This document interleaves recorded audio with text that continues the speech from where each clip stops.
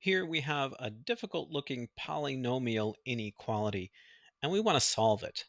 You know, when you solve a polynomial inequality, you're going to find some intervals where, in this case, x cubed minus x squared is greater than 9x minus 9. And actually, what we're going to do first of all is just set this thing to 0. So we have x cubed minus x squared minus 9x plus 9 greater than or equal to 0. That way, we can think about whatever this function does, whatever crazy stuff it does, we can think about where it's above or below that x-axis. So let's actually do that first. Let's subtract 9x and add 9 to both sides. And we'll get x cubed minus x squared minus 9x plus 9 is greater than or equal to 0. So now this polynomial, this is a problem eh, of finding the zeros of the polynomial and then testing those regions to know whether the function is above or below the x-axis at that point. If the function has a positive value, it's above. If it has a negative value, it's below. Finding the zeros, though, um, might be a little tricky here. I think we can pull some, some uh, tricks here with factoring. Let's just do this in a couple of groups if I look at this chunk right here, I could pull an x squared out of there. So I'm going to do that. So x squared, this would leave x minus 1. And then I'm going to pull a negative, uh, negative 9 out of here. This is actually going to work out really well. So in this chunk, I'm going to pull out a negative 9. So minus 9, and that leaves x minus 1.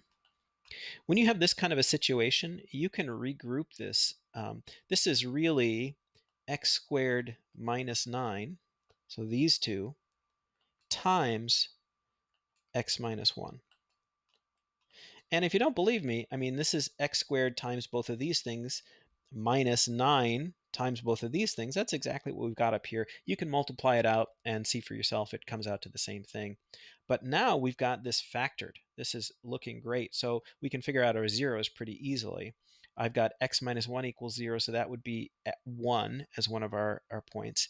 And then x squared minus 9, if I set that equal to 0, I would add 9 to both sides. And I'd get x squared equals 9 and then I'd take the square root of that, and what I would get is x equals a positive or negative 3. So I've got three zeros here, three points where this um, crosses or touches the uh, x-axis. So let's go ahead and plot these on a number line. I've got negative 3, I've got 1, and I've got positive 3.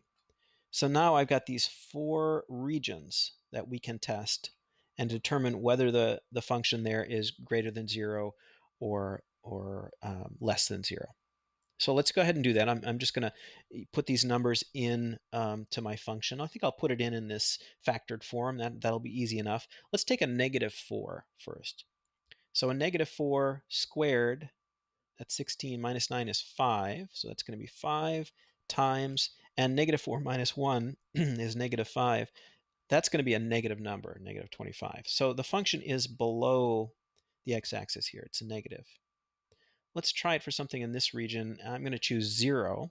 I just get a negative 9 times a negative 1. That's a negative times a negative, or a positive, so it's definitely above there. I need a number between 1 and 3. I guess I'll take 2. So 2 squared is 4 minus 9 is a negative 5. And 2 minus 1 is 1. So that's negative 5 times 1, that's a negative number, negative 5. And let's choose maybe 4 for this region. So 16 minus 9 again is 5. And 4 minus 1 is 3. That's a positive number. Now, remember, we're looking for where this function is greater than or equal to 0. So we're looking at this region and this region. So we're going to start at negative 3, and I'm going to include negative 3 with the square bracket uh, because it's greater than or equal to.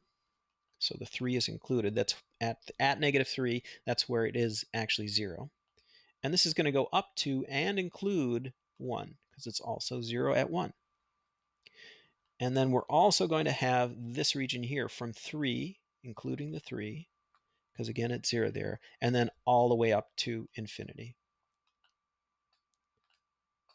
So that is how to solve a polynomial inequality with a little bit of factoring first.